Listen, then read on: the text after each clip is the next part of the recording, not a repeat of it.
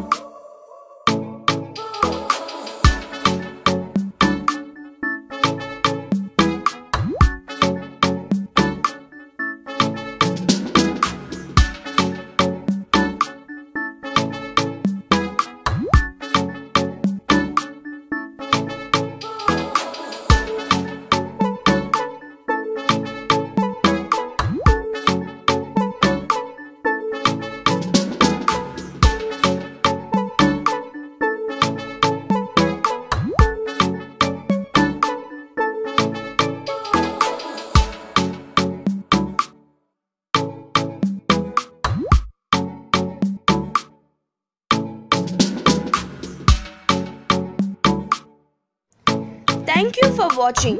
Please like, share and subscribe.